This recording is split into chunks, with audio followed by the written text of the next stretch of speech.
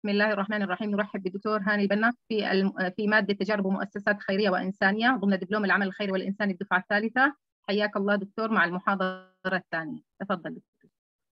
طيب الحمد لله والصلاة والسلام على رسول الله شكرا أستاذة أميرة وشكرا منصة التكامل وشكرا لإخواننا وأخواتنا وأصدقائنا في كل مكان من المتابعين إن شاء الله وأرجوكم النهاردة أنكم تصبروا معي شوية لأن في محاضرة طويلة وفيها بعض المداخلات وفيها أمثلة كثيرة فعايز حبة صبر علشان ده سؤال سألته لي شابة من بناتنا وإحنا راجعين من لقاء كنا عملناه في تركيا في أول شهر يونيو. الشريحة الجاية. ده الفهرس في حوالي 11 نقطة. مش هخوض فيه كتير جدا هنخش فيها نقطة نقطة. لكنه مهم جدا علشان السؤال المهم جدا اللي هي طرحته عليا الأستاذة مريم. عشان كده مسمي المحاضرة دي في أماكن أخرى من وحي مريم. المحاضرة سوري الشريحة الثانية مريم وهي أنا وهي كنا قاعدين مع بعض في المطار في إسطنبول وقالت لي كده إيه اللي بيحصل؟ أو ماذا يحدث حينما تكبر المؤسسات وتستقر؟ سؤال عفوي من شاب من بناتنا أثار حفيظتي جدا جدا وخلاني أكتب المحاضرة بتاعت اليوم اللي هي تعتبر نص الكلام اللي أنا كتبته. فاصبروا معي لأن الكلام كتير وأتمنى أنكم تركزوا معي. الشريحة اللي بعد كده. دي بعض المصطلحات العربية علشان كنت أنا بحاول أقول لمريم بنتنا إنها اتولدت في الغرب. وطبعا أغلب بناتنا وأبنائنا اللي اتولدوا في الغرب اللغة العربية بتاعتهم ضعيفة جدا. فكنت بقول لها الاستنباطات من الأفعال العربية قوية جدا وكبيرة ومهمة جدا. هي لغة ثرية ولغة غنية ولغة فيها يعني مفردات كثيرة جدا جدا جدا. فطبعا من خلال استعلام الألف استعمال الألف والسين والت بيتغير معنى الكلمة ومعنى الفعل اللي إحنا بنعمله. فطبعا مش هخش في عشرات المصطلحات اللي أنا كتبتها علشان دي بعد كده هو بتكون محاضرة أخرى خالص مختلفة عن المحاضرات الثانية اتفضلي. سؤال مريم كان إيه؟ ماذا يحدث حينما تكبر المؤسسات وتستقر؟ كان ردي ردي ردي الحاد المفاجئ لمريم تستنقع ويستنطع العاملون فيها. قالت لي مش فاهمة يعني إيه تستنقع وتستنطع لأنها بنت من بناتنا اللي ولدت في بريطانيا. فطبعا يعني يعني إيه استنقاع؟ يعني إيه استنطاع؟ الاستنقاع في اللغة العربية هو من النقيع.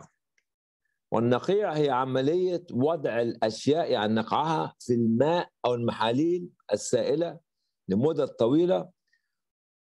ها ولأسباب عدة منها إخراج المواد الكيماوية السكريات ذات المذاقات المختلفة منها أو أي, أي أنها عملية النقع دي نفسها هي عملية سكون. عملية إيه؟ سكون وركود وانعدام حركة. ده اللي بيحدث للمؤسسات بعد ما بتكبر. سكون وجمود وركود وانعدام حركة. طب يعني إيه استنقاع بقى؟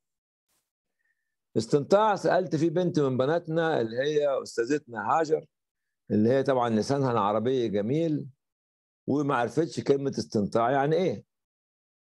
لكن في اللغة العربية الاستنطاع هو سلوك خلقي غير أخلاقي ولا يحبه عامة الناس. يعني ما حد يقول لي أنا كده أنت نطع يعني إيه نطع يعني في تبلد في سماجة في لزاجة في عدم اكتراث في أنانية في فردية في التفكير في تغليب المصلحة الخاصة لي أنا على المصلحة العامة للناس.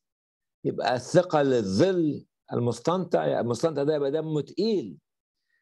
يبقى عنده جفاء وعنده جفاف في العلاقات بينه وبين المستنطعين بين المستنطعين وبين باقي الزملاء وعنده غلظة في التعامل وصفات أخرى. ده المستنطع يبقى المستنقع ركود المستنقع سلوك. المستنطع سلوك. بعد كده. طيب نخش كده عشان دي كلها مداخل اللي إحنا هنتكلم فيه النهارده. الفترة الذهبية لأي عمل بينشر. في أربع أعمال متوازية هنتكلم فيها. أول عمل هو المؤسسة. الفترة الذهبية للمؤسسة عمل المؤسسه هي فتره وجود المؤسس والمؤسسين معه. وفتره الجيل الأول الذي ضحى معهم لبناء المؤسسة أو لإيجادها من العدم. دي الفترة الذهبية. دي بالنسبة للمؤسسة. اللي بعد كده. أما بالنسبة للثورات والثوار فهي فتره المعاناة التي قضاها الثوار قبل اندلاع الثورة. ثم فتره المواجهة الدامية والناشئة عن اندلاع الثورة ومن بعدها فترة المحافظة على مكاسب الثورة. في الفترتين الأولانيتين يا شباب بيحصل إيه؟ بيرتبطوا بقائد الثورة هو المؤسس وفريق العمل معهم. الذين قاموا بالتخطيط والتضحية من أجل إنجاح هذه الثورة يعني جيل المؤسس وفريق عمله. ده كلامنا عليه من قبل. الذين ضحوا بكل ما عندهم من أجل إنجاح الثورة ده قد بيؤدي إلى إيه؟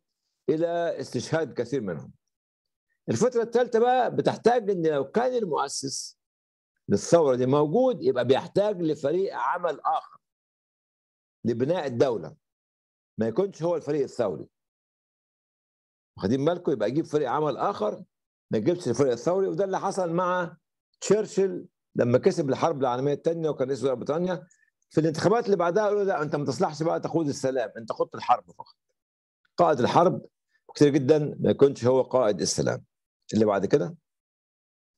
أما بالنسبة للأنبياء والرسل فالفتره الذهبية هي الفترة اللي موجود فيها النبي. النبي عيسى عليه السلام النبي موسى عليه السلام النبي إبراهيم عليه السلام النبي نوح عليه السلام سيدنا محمد عليه الصلاة والسلام. ومن حوله الحواريين ومن حوله اللي هم الصحابة إلى آخره. علشان يهدي المجتمعات. فدي الفترة الذهبية لأي دين في العالم. لذلك الرسول صلى الله عليه وسلم قال كده خير القرون قرني ثم من بعد ثم ثم ثم ثم ثم. ده بالنسبة للرسل والأنبياء. أما بالنسبة للعلماء والإصلاحيين والفقهاء والمفكرين والفلاسفة فهي فتره تعلمهم وتفقههم وبعدين بعد كده رفع الوعي المجتمعي من خلال علمهم. والمناصرة من خلال مجهوداتهم اللي بيقوموا بها سواء كانوا علماء أو إصلاحيين أو فقهاء. بيلتف حولهم في هذه الفترة اللي هم جيل اللي هم إحنا قلنا عليه قبل كده جيل الصحابة. من التلاميذ اللي هم بيتعلموا على أيديهم. يقول لك قد تعلم. ده مثلا في فقه أبو حنيفة في أبو حنيفة النعمان في أعوذ بالله الشيطان نسيت أنا اسم التلميذين بتوع سيدنا أبو حنيفة النعمان لأبو يوسف والثاني مش فاكر اسمه بس. دول هم كانوا تلامذته النجباء. اللي حافظوا على فقه سيدنا الإمام أحمد بن حنبل. احمد أبو خليفة النعمان. أبو حنيفة النعمان. مش أبو خليفة. شوف اللخبطة. أبو حنيفة النعمان. فيبقى كل فقيه ليه حواريين وكل مفكر ليه حواريين وكل فيلسوف ليه حواريين كذلك. فدي الفترة الذهبية في وجود هذا الفقيه وهذا العالم وهذا المصلح وهذا المفكر وهذا الفيلسوف. دي الفترات الذهبية في الأربع في الأربع مكونات مجتمعية. بعد كده هو كل دي مداخل. طب ليه إحنا بنعتبر هذه الفترة فترة ذهبية؟ أول حاجة لوجود الأنبياء والرسل والمؤسسين وقادة الثورات والعلماء والاصلاحيين والفقهاء والمفكرين والفلاسفة وغيرهم. من إيه؟ من أصحاب الفكر الأصلي والرسالة الأصلية والرؤية الأصلية والبذل والتضحيات والمعاناة. ده لأن هو الم... زي... زي... زي... في معنى حديث صلى الله عليه وسلم خير القرون قرني لأن هو كان موجود ومعه صحابته. نمرة اثنين لوجود جيل معاه اللي هم الصحابة والحواريين ها أو التلامذة زي أبو يوسف وغيره. فأمنوا بفكر النبي صلى الله عليه وسلم وفكر المفكرين وفكر الفقهاء إلى آخره إلى آخره إلى آخره النقطة الثالثة لوجود الروح اللي عند المؤسس وعند النبي صلى الله عليه وسلم ووجود الأرواح المتأججة داخل أفئدة حواريهم والمؤمنة والراغبة في أحداث التغيير. النقطة الرابعة بساطة. حياة الرسل كلها بسيطة، حياة المفكرين كلها بسيطة، حياة العلماء كلها بسيطة، ما فيهاش تكلفة، البساطة والتلقائية والعفوية في التفكير، الشفافية، القدوات المتبينه في المجتمع وفي الفريق، التجرد، التواضع، قبض الجناح، الود والمودة والرحمة وليس مجرد الحب. الغفران والمغفرة، التصارح والتصالح، وحدة الرؤية والهدف والمهمة والرسالة، التآخي والتآزر، كل هذه الصفات الجميلة موجودة في المؤسس والفريق بتاعه أو في الرسول وحواريه أو أصحابه. حماسة المخاطرة، المواجهة والتوكل، الثقة والولاء والانتماء، الهوية والإيمان، الإيجابية والمرجعية، الحرية والمساءلة، المساواة والكفاءة والتفضيل، الإيثار وغير ذلك من إيه؟ من صفات موجودة في هذا الجيل. يعني هل حد مننا يا شباب يقدر يقارن نفسه بابو بكر وعمر وعثمان وعلي والسيدة خديجة والسيدة فاطمة والسيدة عائشة والسيدة عائشة والسيدة حفصة إلى آخره محدش هم دول حواري الرسول صلى الله عليه وسلم وصحابة الرسول صلى الله عليه وسلم وأمهات المؤمنين رضي الله عنهم وأرضاهم. دي اللي هي النقطة الرابعة. بعد كده؟ إيه بقى اللي بيحصل يا شباب بعد الجيل ده ما يروح؟ خلاص الجيل ده بنى رسالة بنى فكر بنى ثقافة بنى قيم بنى أخلاق. بنى بنى بنى بنى بنى بنى بنى. هيحدث استقرار فهيقل الإبداع. هتتحول المخاطرات إلى سياسات وقوانين. هتختفي الروح أو تختفي الأرواح. هتتهيكل البناءات المؤسسية وتتحول المؤسسات إلى أقسام وإدارات وقطاعات منفصلة. قد تكون منفصلة قد تكون مش متواصلة ابدا مع بعضها البعض. هيصير العمل داخل المؤسسات والمجتمعات ما بين عقاب وثواب. في بعض الأحيان أو في كثير من الأحيان هيكافئ الكسول الذي لا يخطئ ويعاقب النشيط صاحب المبادرات والأخطاء. اقري لي بس آخر سطر يا يا أميرة. تنعدم الرؤية لأن الرؤية هنا مش بصر إنما بصيرة. تنعدم الرؤية لأنها ليست بصر إنما هي بصيرة. قد تنعدم الرؤية في كثير من الأحيان. الشريحه اللي بعد كده؟ تتحول المؤسسه المستقره هنا بقى هنا بقى الكلام اللي هيوجع القلب ويوجع البطن ويجيب صداع ويخلي الواحد يفكر. تتحول المؤسسه المستقره بعد جيل المؤسسين إلى مستنقع. ينفذ إليه ويعيش بداخله من بقى الأنطاع المستنطعين. إحنا إحنا إحنا عرفنا الاستنقاع والاستنطاع قبل كده. الأنطاع المستنطعين دول بينشئوا بؤر استنطاعية بتعمل إيه؟ بتؤطر لفلسفات الفكر الاستنقاعي الاستنطاعي. عشان مش عايزين يعملوا حاجة جديدة. عايزين يريحوا مخهم. مش عايزين صلاه صداع مش عايزين اجتهاد مش عايزين كذا مش عايزين كذا مش عايزين كذا.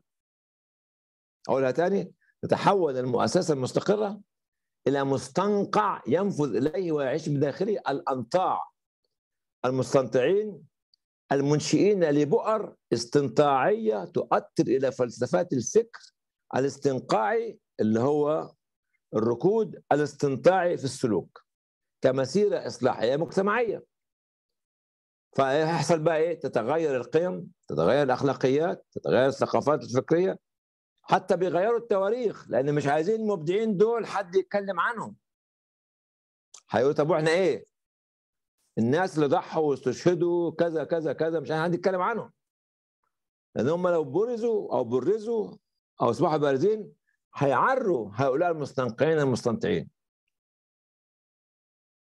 تتغير القيم والأخلاقيات والثقافات الفكرية والتواريخ والفلسفات الإبداعية وتتحول فيها أو تتحول فيه داخل هذه الفترة القيادات والرموز داخل المؤسسة والقائمين على قيادة مساراتها إلى مجرد صور وأرقام لا روح فيها. وده هو المشكلة وده حقيقة نحن نعاني منه الآن في كثير جدا من مؤسساتنا الاجتماعية حتى مؤسساتنا الاقتصادية حتى مؤسساتنا الفكرية حتى مؤسساتنا اللي هو السياسية حتى مؤسساتنا الإعلامية حتى مؤسساتنا الفنية حتى الفن. كان في إلى آخره. فنانين في جيل الأربعينات والخمسينات والستينات اللي موجودين دلوقتي ما لهمش أي صلة بالفن ولا الثقافة ولا القيم ولا الأخلاق. هكذا قد تصل بنا الأمور. ليه؟ لأن الأمر استقر بقى. ما فيش اجتهاد. حينما لا يوجد اجتهاد سيتحول المجتمع إلى مستنقع استنطاعي. حينما نكف عن الاجتهاد هيتحول العلماء إلى مستنقعين مست... استنطاعيين أو مستنطعين. طيب. اللي بعدها؟ ما هو المسار المؤسسي مع الجيل الأول طب الجيل بقى الأول بيعمل إيه؟ ها؟ أو عمل إيه؟ نتخيل إن الجيل الأول ده جاهد وناضل وقدم تضحيات إحنا هنضرب مثل ببناء بحيره تخدم المجتمعات اللي بتعيش حوالين البحيره دي. أو اللي هتعيش بعد إيه؟ من نبني البحيره أو. أو رؤية بناء البحيره دي. إزاي الجيل الأول هيبني البحيره دي؟ هيكون ليه ثقافة ورؤية رؤية ثاقبة. عزيمه لا تفطر ده الجيل الأول بقى خلاص جت فكرة إبداعية عنده وحب يبني بحيرة علشان إهدار مياه الأمطار. ودي شفتها أنا بأم عيني أو بأم عيني مش كده برضك باللغة العربية؟ وأنا في الصومال وأنا في جيبوتي. ها؟ كل سنة تحصل سيول والسيول دي تذهب للمحيط. برؤية ثاقبة عزيمة لا تفتر قيادة واعية قادرة متمكنة وممكنة. فريق عمل مؤمن برسالة الرسالة والرؤية الجلية والثقة الراسخة في القيادات في القيادة. حبوا يشتغلوا أو يبنوا البحيرة دي بدون إمكانيات. فحبوا يعملوا إيه بقى؟ إزاي بقى هم آه المسار بتاعهم كان إيه؟ أول حاجة حبوا يعرفوا الحاجات المجتمعية الملحة والمزمنة للمجتمع قبل ما يبنوا البحيرة. ما فيش حاجة عشوائية ما فيش واحد كده رئيس ولا وزير ولا رئيس وزراء صحي من النوم وقال لك اعمل كذا في شهر وهي تاخد لها سنة ولا سنتين. كل ده كلام فارغ. حددوا أولى الخطوات في وسائل العلاج المجتمعي. بدأوا في خوض مخاطرة. ما فيش بحيرة انشئت في بلدهم. المجتمعية ما كانش عندهم خبرة سابقة. آمنوا بوحدة العمل من خلال تحديد وحدة الهدف المجتمعي. الهدف المجتمعي إن البحيرة دي بنبنيها علشان المياه اللي بتهدر كل سنة في المحيط نخزنها ونقيم على ضفاف البحيرة وأنهار المنبع وأنهار المصب مجتمعات. وثقوا في كل أفراد الفريق. القيادات العليا كانت الثقة موجودة. الثقة كانت موجودة. تحلوا ببعض المعايير. المهمه اللي اهمها الصبر. الصبر الشفافيه المحاسبيه المرجعيه التمكين المجتمعي التمكين الشبابي القيادي المؤسسة والمجتمع التعددية الانفتاحية المشاركة التشاركية التجميعية. لا ما فيش إقصاء. ما فيش انت ابيض وأنا اسمر انت مش عارف إيه لا ما فيش. الإنسانية تطبيق المعايير الإنسانية العدل والمساواة والتأخي التواضع وحفظ الانفتاح وتزكية الأنفس. اللي وراها دي إيه يا اخت أميرة؟ مش عارف أنا اقرا الحتة اللي تحت. الوحدة الوطنية المجتمعية وغير ذلك من الاخلاقيات آه. كل هذه الأشياء علشان يبنوا مشروع للمجتمع. يبنوا مشروع لمين؟ مش مش لمصالحهم الخاصة. زي ما إحنا بنشوف بعض المسؤولين كل المشاريع في أوطانهم مصلحة خاصة. مجد شخصي.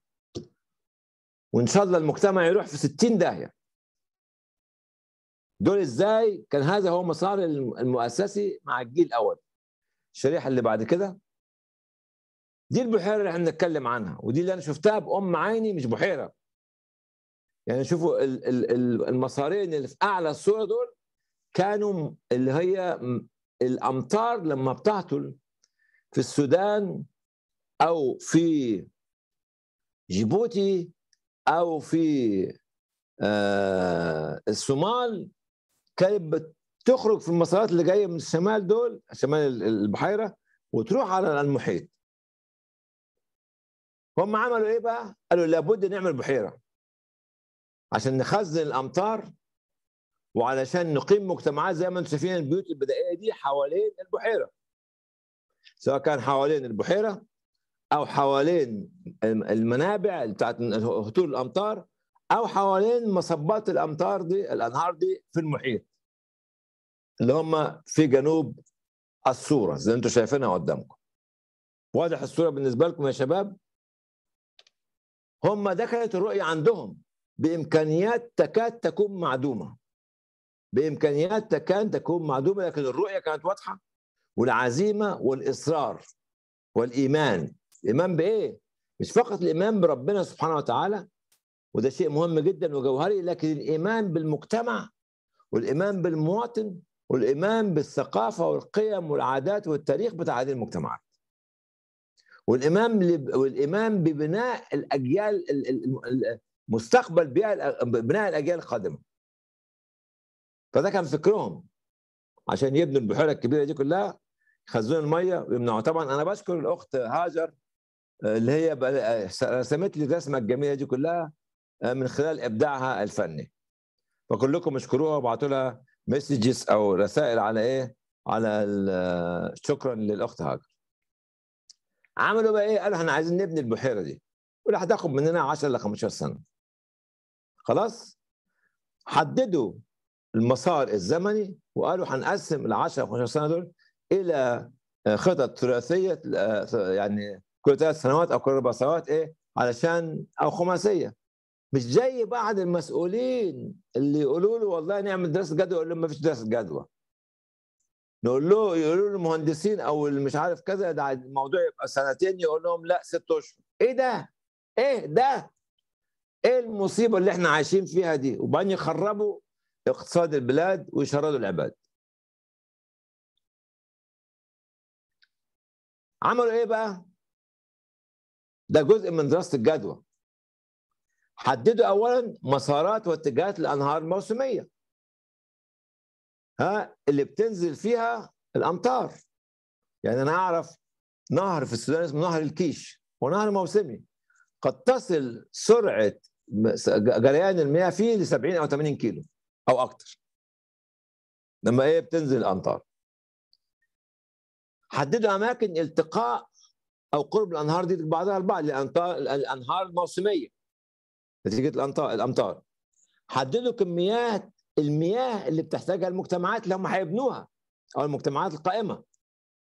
وكذلك كميات المياه المهدرة في المحيط كل سنة تقريبا 20% 30% 50% 100% درسوا التضاريس المختلفة لهذه المنطقة من أنواع الترب. من أنواع إيه؟ الترب المختلفة. ونوعياتها درسوا مرتفعات ومنخفضات الأراضي ونوعياتها اكتشفوا المصادر والثروات. زي ما سيدنا ذو القرنين لما راح للناس الذين يفقهون قولا وقال لهم هاتوني زبر الحديد. قال له يعني إيه زبر الحديد؟ مش عارفين القطع دي بتاعت حديد. ها؟ فاكتشفوا إيه؟ مصادر المصادر والثروات الطبيعية لهذه المجتمعات. وفروا المصادر البشرية اللي هتبني اللي هي مسارات الأنهار وهتبني في نفس الوقت البحيرة. وعرفوا كفاءاتها المتعددة المتواجدة فيها. نمرة سبعة. حددوا مكان البحيرة. والله بيقول لك الأنهار بتيجي من اتجاه الشمال أو الغرب أو الجنوب. ومكان البحيرة هيبقى في المكان ده. سعه البحيرة عمق البحيرة التي سوف تخزن المياه التي تحتاجها المجتمعات التي ستقام على جوانبها ها؟ شايفين؟ ستقام على جوانب هذه البحيرة. في مجرد ما هنعمل بحيرة هتيجي مجتمعات جديدة تعيش حوالين هذه البحيرة. حددوا سعه البحيرة وعمقها وأنواع السم... الأسماك والنباتات اللي هتعيش بداخلها. غير الطيور المهاجرة والطيور والحيوانات إلى آخره إلى آخره اللي هتعيش على ضفاف البحيرة ناهيكم أنهم بدأوا يحددوا ها بدأوا يحددوا آه عدد أبناء المجتمعات المتوقعة اللي هتعيش على منابع هذه الأنهار اللي هي الأمطار ثم مصبتها قبل أن تذهب إلى المحيط وعلى ضفاف البحيرة. حددوا عدد فتحات وبوابات استقبال المياه من المنابع يا من الأمطار. وعدد فتحات وبوابات التي حتؤدي إلى خروج هذه المياه إلى المجتمعات هي المصبات. رجعي الشريحه اللي فيها شكل البحيره دي أيوه دي. يعني شوفوا هنا هو دخول الميه من النهرين اللي فوق دول حددوا كم فتحة وكم بوابة فيها والنهرين اللي تحت حددوا فيهم كم فتحة وكم بوابة ويفتحوهم إمتى ويقفلوهم إمتى علشان يكون في مخزون مياه استراتيجي للحيوانات وللطيور والأسماك وللبشر وكل حد. نتقدم بقى نروح للشريحه بتاعتنا. حددوا عدد فتحات وأبواب استقبال المياه. زي ما قلنا حددوا حتى أعماق الأنهار عشان تتوائم مع عمق البحيرة. يعني النهر اللي بتاع المنبع يختلف عن عمق عمق نهر المنبع يختلف عن عمق نهر البحيره يختلف عن عمق نهر اللي هيخرج من البحيرة. قد يكون من الأعلى للأقل.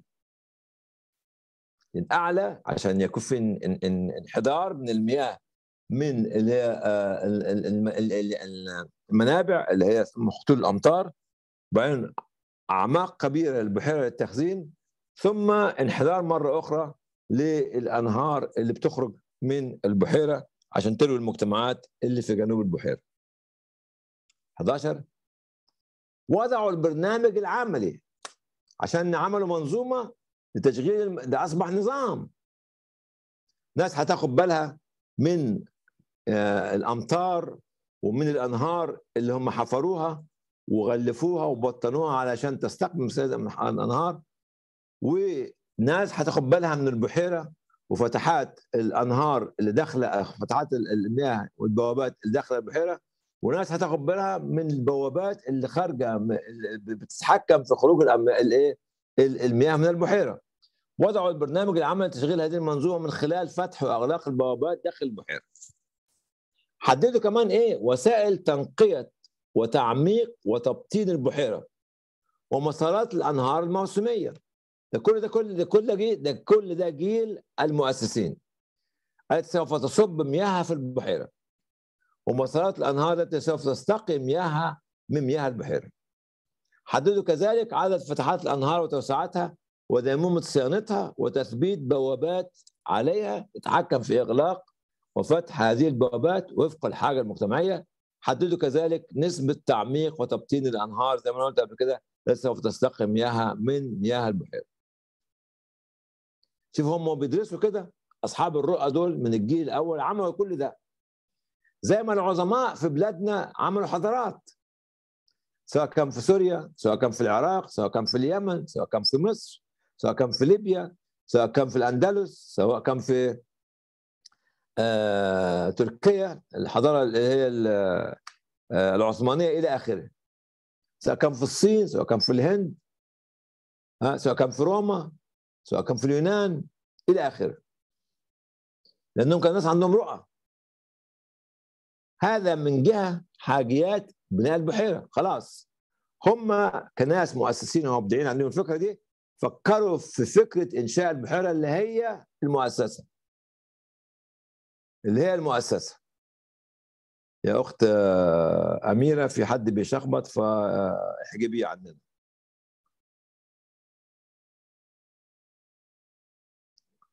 شكرا. أما حاجة المجتمع دي اللي هتقام فدي بقى مين اللي هيحددها فيما بعد؟ اللي هم الناس نفسهم اللي هيعيشوا في المجتمعات المحيطة بالبحيرة. الشريحه اللي بعد كده؟ ما الذي سوف يؤدي إلى الاستنقاع الاستنطاعي؟ وما السبيل إلى علاجها إيه بقى اللي هيؤدي لظهور هذه الظاهرة؟ الاستنقاع الاستنطاعي. يعني الركود والتنطع. أول حاجة انتهاء فترة المؤسسين وأبناء جيلهم الذين أبلغوا بلاءات حسنة وقدموا أروع الأمثلة في التضحيات. نمرة اثنين الوصول إلى حالة الاستقلال المؤسسي. ومعناها إيه؟ اللي بتتميز بالتالي عدم المخاطرة كثرة كتابة المعايير والسياسات والمرجعيات والقوانين الداخلية للمؤسسه اللي قد تكون معيقة. تعقيد الهيكل التنظيمي للمؤسسه وتحوله إلى وحدات عمل إدارات أو قطاعات تعمل في الكثير من الأحيان منفصلة عن بعضها البعض. كل إدارة وكل ساعات بقى يقول لك أنا ماليش دعوة باللي جنبي. زي اللي كانوا بيستهموا على خرق السفينة اللي, عايزة إيه؟ اللي تحت يشربوا المية واللي فوق ما يشربوش المية. كثرة الشركاء من المؤسسات الدولية أو الحكومات والمؤسسات المانحة طب وإيه المشكلة آه المشكلة إن كل من هؤلاء المانحين له منحة لها ثقافة وسياسة وفلسفة وفكر وعقيدة قد تختلف غالبا عن ثقافة المؤسسة المستفيدة منها وقد تكون هذه سياستهم مقودة لعمل المؤسسات التي حصلت على الإيه؟ المنح. خدت بالكم؟ ليس كل ما يأتي من منح سواء شرقية أو غربية أو شمالية أو جنوبية بيكون على هوى الايه المستقبل للمنحه قد تكون مقودة للعمل. بتفرض عليك سياسات وشروط قد لا تستطيع تنفيذها. الشريحه اللي بعد كده. كثرة المنح الإنسانية المجتمعية. زي ما أنا قلت قبل كده في الشريحه اللي قبل كده؟ كل دي المنح دي يا شباب يعني أرجوكم أرجوكم أرجوكم مغلفة بثقافة المانح المتأثرة بعقيدة المانح وفكر المانح وفلسفة المانح وتاريخ المانح وأهداف المانح التي قد تتعارض مع يعني تعارض شديد مع الثقافات المحلية للمجتمعات المستفيدة من هذه المنح. ده اللي هو بيؤدي للركود أو ده الركود. لأن المانحين دول ما بيدوش مالهم إلا المؤسسات المستقرة. فبتو... ليه؟ لأنها كبرت. فبت إيه؟ بتستنقع وتستنطع فيما بعد. من الأسباب اللي بتؤدي للاستنقاع والاستنطاع أيضا هو الجنس. أنا مش هوظف إلا بني جلدتي. أنا مش هوظف نساء. هو العرق. هي الثقافة. الجماعة بتوعي هم سواء كانوا إسلاميين ولا شيوعيين ولا ليبراليين ولا كذا هم اللي هيوظفهم سواء كان ثقافة أو فكر. الدين أنا هوظف بس أولاد الدين بتاعي أو المذهب بتاعي. ها؟ أنا مش هوظف إلا الكبار أما الشباب مش هوظفهم الناس اللي عندها فلسفة مختلفة مش هوظفها الناس اللي عندها لغة مختلفة مش مش مش هوظفها كل هذه الأشياء بتؤدي إلى استنقاع الاستنطاعي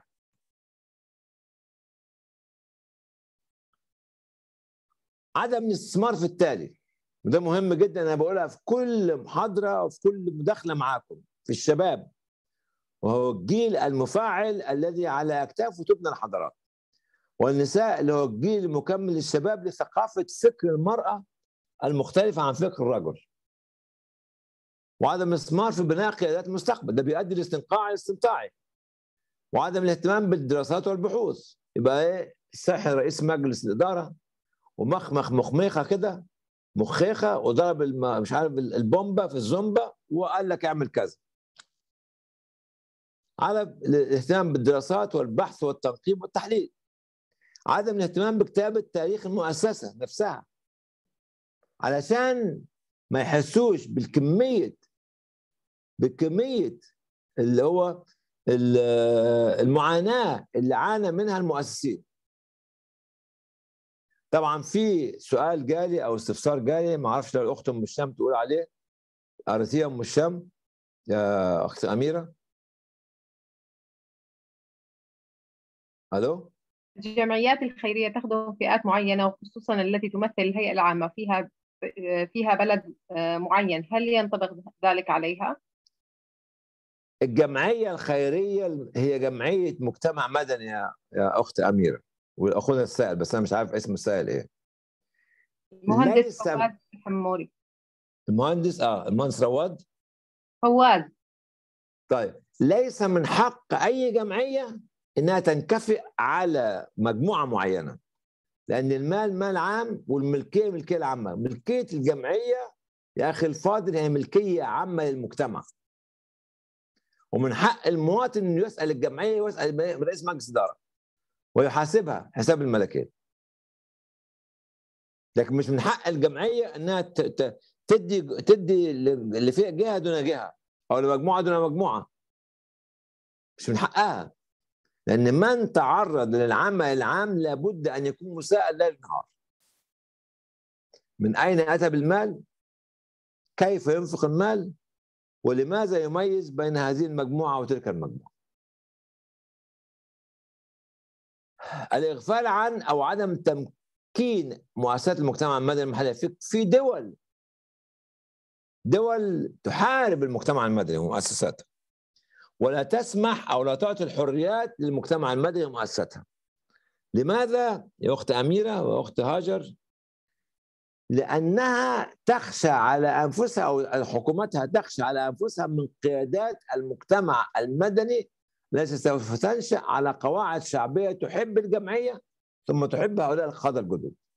ويعتقدون أن هؤلاء القادة الجدد سيحاربونهم أو سينافسونهم فبيحاربوها أو يغلقوها أو يقللوا مساحه الحريات المدنية. وغير ذلك من أسباب تؤدي إلى آه، تحول إلى المؤسسة المستقرة إلى مستنقعات مستنطعة. والله ثلاثة أنا عايش في الجو ده وأنا في الغرب مش وأنا في الشرق. عشان اوعوا تفتكروا إن في الغرب ما عندنا دول يعني بسم الله ما شاء الله بيتكلموا لغات من مناخيرهم ومن ودانهم وبيعملوا كل حاجة. لا في منهم اسوء من اللي عندنا في الشرق. لكن على الجميع يعلموا أن الجمعية ومالها وتاريخها وأدبياتها ومشاريعها ملك المجتمع وليس ملك فصيل أو شخص أو مجموعة من الناس. نظرة واقعية لاستنقاع الاستنطاعي في البحيرة اللي هي المؤسسة. بيحصل بقى إيه؟ لما إيه؟ تحصل إيه؟ تستقر فتستنقع زي اللي هو آه، مستنقعات ما شفتوش مستنقعات يا شباب لما رحت أفريقيا رحت في أي مكان لما بيحصل استنقاع يعني بتتحول البحيرة إلى مستنقع حركة الماء الأنهار بتتباطأ. سرعتها؟ لأن ما فيش صيانة. كل واحد ماسك الحتة بتاعته. كل واحد بيتخانق مع الثاني كل واحد عمل لنفسه ضيعة أو عمل لنفسه محلة. مكان كده. النقطة الثانية بضرب المثل بالبحيرة اللي هي البوابات. إما بتضيق أو بتتقفل. أنا شفتها بأم عيني وأنا في الصومال. على بحر على نهر من نهر شابيل البوابات كلها متكسرة ومقفولة. وفي فيضانات على آه، جوانب نهر شابيل قبل البوابات. ليه؟ لأن المية جاية مثلا من الشمال والبوابات مقفولة فعملت فيضانات على ضفاف النهر من ناحية من الجانبين زي بتتسرب وتتفرق المياه الداخلية البحيرة الأراضي المجاورة في صورة فيضانات تتكون على أثرها مستنقعات صغيرة مدمرة لإيه؟ للاقتصاد المحلي الاقتصاد المجتمعات التي نشأت واستقرت حول البحيرة مما قد يؤدي إلى نزوح مواطنيها لاماكن بعيدة أكثر من أمن الاستقرار يعني معناها إيه؟ معناها إن الموظفين المستنطعين دول اللي مش عايزين يغيروا أي حاجة بيضيعوا المؤسسة. فبيضيعوا خيرات المؤسسة. فبيضيعوا المجتمعات اللي بتستفيد منها المؤسسة. فبيضيعوا إبداعات مثل هذه المجتمعات. فبتتشرد هذه المجتمعات أو بتفتقر هذه المجتمعات أو بتغيب عن الوجود هذه المجتمعات. بتتشرذم. مياه البحيرة نفسها اللي هي المؤسسة بتستنقع. فتصبح مياه راكده وده بيؤدي لنمو الجراثيم الجراثيم اللي بنشبهها في المؤسسة هي اللي هو كل واحد فيه نفسي نفسي. ويبقى يبقى الكلامنجية يكتروا. والغيبة والنميمة واللي كذا واللي كذا يكتروا. وكأنهم أعداء. كأنهم أعداء. تخيلوا. يبقوا راكبين مركب واحدة وكل واحد فيهم بيتخانق على الإيه؟ على المتر بتاعه أو نص متر بتاعه. لأن كل واحد من المستنطعين الموظفين دول أصبح جرثومه زي ما بتطلع الجراثيم دي داخل البرك والمستنقعات المستنقعات بالذات بتؤثر هذه الجراثيم على ليس فقط على المؤسسة بل على المجتمع اللي حول المؤسسة وعلى المؤسسات الصغيرة اللي هي لسه لم تستقر. وبالتالي بالنسبة للبحيرة بتؤثر على المناخ البيئي والاقتصادي لهذه المجتمعات. شفتوا بقى يا شباب؟ لما بنبطل نفكر ونبطل ناخد المخاطرات ونبطل نجدد ونبطل نعمل أبحاث ونبطل نشرك الشباب والنساء ونبطل نبطل نغير القيادات من فوق لتحت ومن تحت فوق بنتحول إلى هذا المستنقع اللي كله أمراض وجراثيم وبندمر المجتمعات المستفيدة اللي إحنا كده إيه؟ بنخدمها. فبينزح المواطنين من هذا المكان إلى مكان آخر. التشريح اللي بعدها.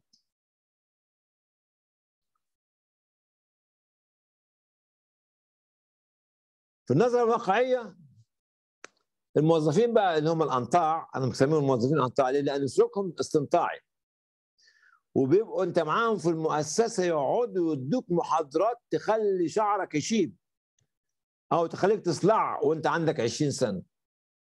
أو تخلي حتى الأخوات الستات يصلعوا من كتر ما بيشدوا شعرهم وينبح صوتهم من الصريخ. بيكثر فيها استخدام أو توظيف الموظفين الانطاع يعني المدير المستنطع بيوظف الموظف الناطع. بتشوفوا كده. يوظف الموظف أو الموظفة تقول إيه؟ حاضر يا سيدي. هعمل لك اللي أنت عايزه يا سيدي. يكثر فيها استخدام أو توظيف الموظفين الأنطاع مباركة الإدارات العليا المستنطع مدراؤها فيبثون فيها ثقافة الاستنطاع الوظيفي. يبقى الاستنطاع ده اللي هو التبلد والركود والجمود يبقى صفة عامة لكل الموظفين.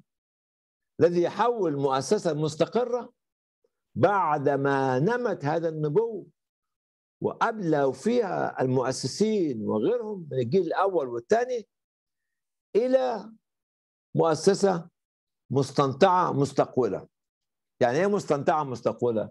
يعني مستنطعة يديرها أنطاع ومستقولة يكثر فيها القيل والقال ويكثر فيها اللغط والجدال والخلاف على إيه بقى؟ على فهميات لغوية ما أنزل الله بها من سلطان فتنصرف المؤسسة أو ينصرف الموظفون عن سيرة الإصلاح أو عن مسيرة الإصلاح المؤسسي الداخلي وتعديد المسار. خلاص هم قاعدين إيه في جدال مع بعض. وعن التجديد وعن التمكين المؤسسي والمجتمعي والابتكار والاختراع وإيجاد الحلول السريعة والمرحلية واكتشاف قدرات جديدة. هينصرفوا بقى. أصبح مستنطع يعني لزج يعني تلم. وفي نفس الوقت كثير الكلام.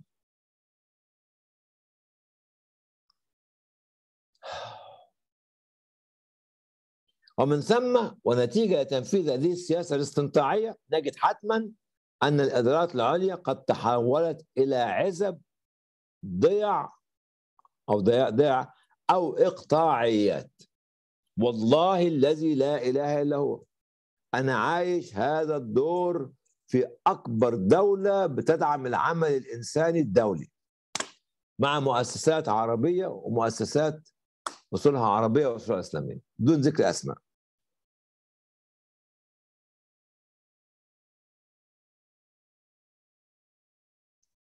ومن ثم ونتيجة لتنفيذ هذه السياسة الاستنطاعيه نجد حتما أن الإدارات العليا قد تحولت إلى عزب وضيع وإقطاعيات متجدرة يعني لها جذور. مش بس الورود على الاساس لا ليها جذور. ومنعزلة كل عن بعضها البعض. فتلاقي المعلومة في في في في, في إدارة مش موجودة في الإدارة الثانية والمعلومة مش عايز يديها له عشان دي ملكه وبيقول لك أنا كنت لسه مع في في في في في في أحد المؤتمرات لبعض المؤسسات السورية في في اسمه كده في في إسطنبول. فبيقول لك المدير لما بيمشي أو ده الكلام ده مش عارف في لبنان حتى. المدير لما بيمشي بياخد الملفات كلها معاه. باخد حتى أسماء المتبرعين. حتى أسماء المتبرعين. حتى أسماء المتبرعين. علشان لما يروح لإدارة ثانية المتبرعين دول بتوعه هو كأنهم ملك خاص بتاعته. متجدرة منعزلة عن بعضها البعض بانية جدر صلبة بينها وبين مثيلتها. لكل من هذه الإدارات ثقافة استنطاعية مختلفة وعلى تلك التي تتميز بها القطاعات والإدارات والأقسام الأخرى في المؤسسة. أي أن المعلومة ها اسمعوا يا شباب أنا قاعد بشد شعري اللي ما فيش شعر في راسي. أي أن المعلومة لا تصبح ملكا للمؤسسة أو القطاع أو الإدارة أو القسم بل ملكا لهؤلاء المستوظفين المستنطعين. معايا يا شباب؟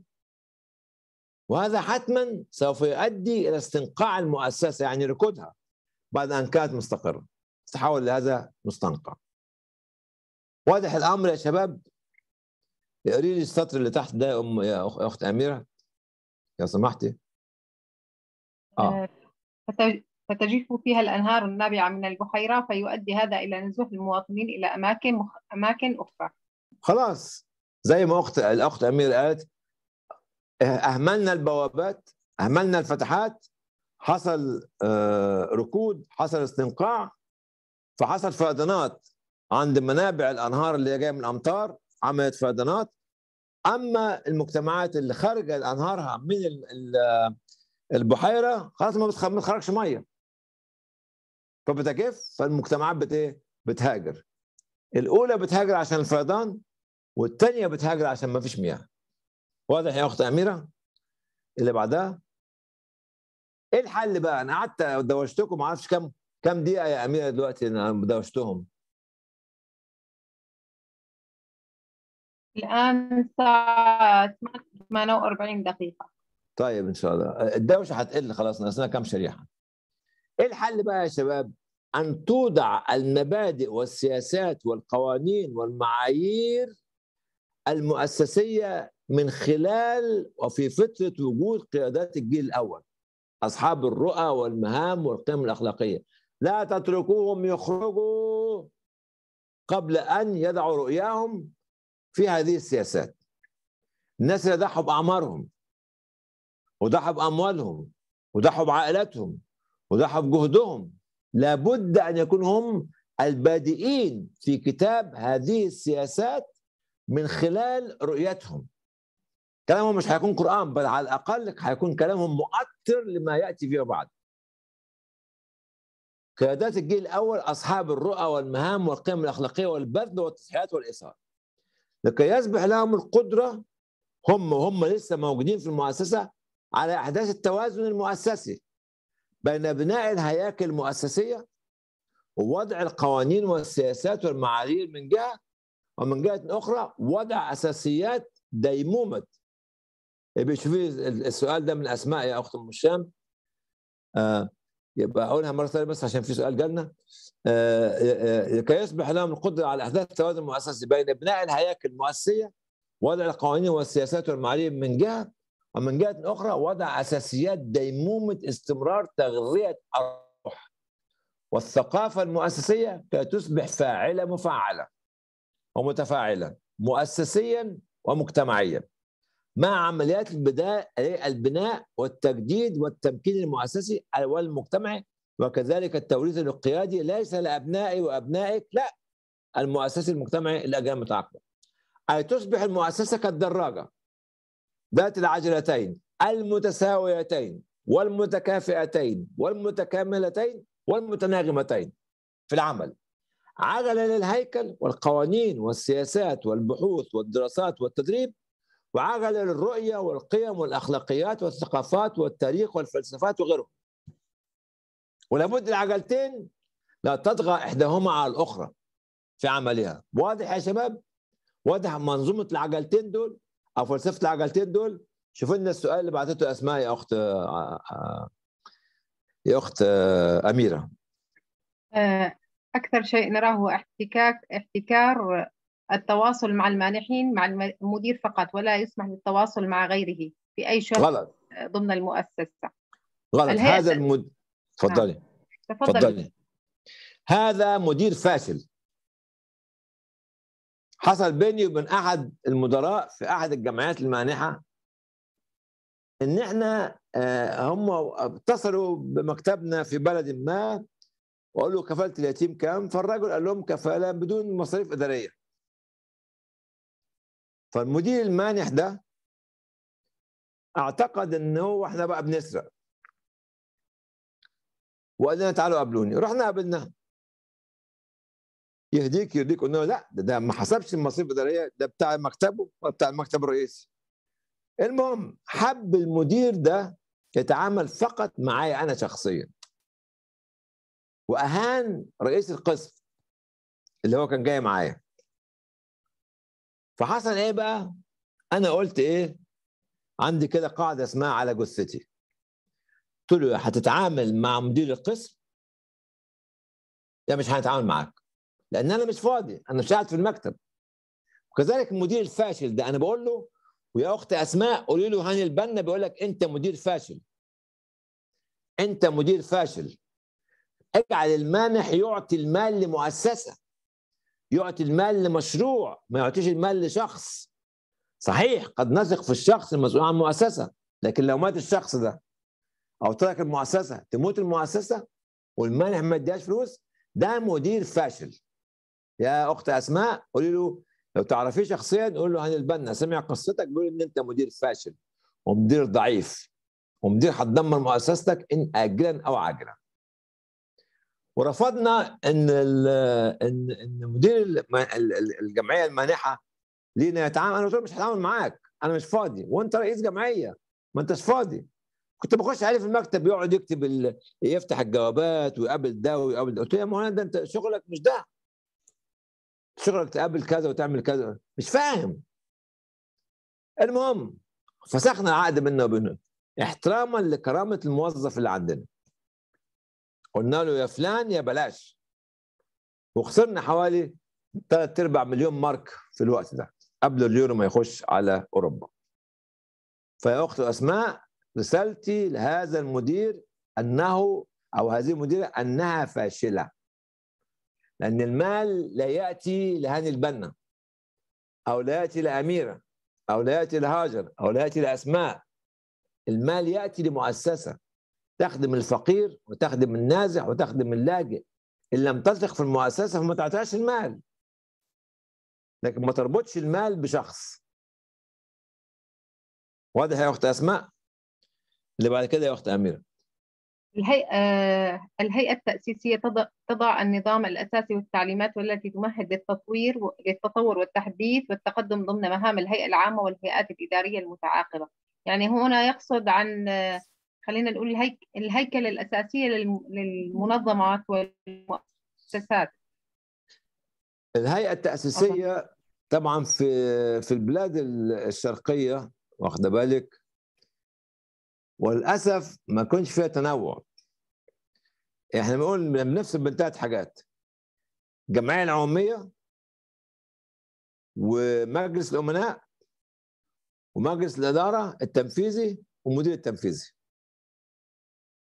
الجمعيه العمومية دي فيها الأعضاء كلهم المساهمين في الجمعية. يكون 50 60 70 لابد يكون اختيارهم في تنوع. يا أخت أميرة ويا أخت أسماء لابد يكون في تنوع. اللي بيفهم في الاقتصاد واللي بيفهم في الإعلام اللي بيفهم في السياسة بيفهم في المشاريع بيفهم في المناصره بيفهم في الحسابات وهكذا. لابد يكون في تنوع ما يكونش نسيج واحد ابدا. لو كان نسيج واحد هيخلونا نلبس في الحيط. ابدا عمره ما كان كده. دايما لما تيجي الجمعية العمومية وانت بتختار الناس تقولي عايزين يبقى كذا كذا كذا. فلو كان عندك أعضاء أو مكاتب كتيرة من هنا من هذه المكاتب بيختاروا لك اللي انت عايزها. دي نمرة واحد. مجلس الأمناء لابد يكون متناسق أيضا. يمثل حاجيات الجمعية. يمثل ناس فاهمين يعني إيه عمل إنساني يعني إيه عمل تنموي يعني إيه عمل إداري يعني إيه عمل محاسبي. يعني إيه عمل قانوني؟ مش أي صاحب ولا كذا ولا كذا ولا كذا نجيبه. خلاص لو جبناهم هنلبس في الحيط. لما نيجي نعمل مجلس إدارة للموظفين إحنا بنعين موظف إزاي؟ بنعين موظف بناء على الحاجة والكفاءة. ما بنعينوش لأنه ابني وبنتي وخالتي وعمتي. اخرجي بقى من خالتي وعمتي وابني واللي حواليا وأصل ده من الجماعة بتاعتنا. ده كله كل ده ما ينفعش. أنا اعرف مؤسسات مع بعينها بدون ذكر أسماء الأب والابن فيها والأم فيها. طب ناس نجيب إيه بقى؟ ناس من الخاله والجيران؟ بعدين تقولوا لي ما هو دي أصلا مؤسسة فاشلة. دي مؤسسة فاشلة. تعرف مؤسسة؟ كان يجي الأب وبنته وابنه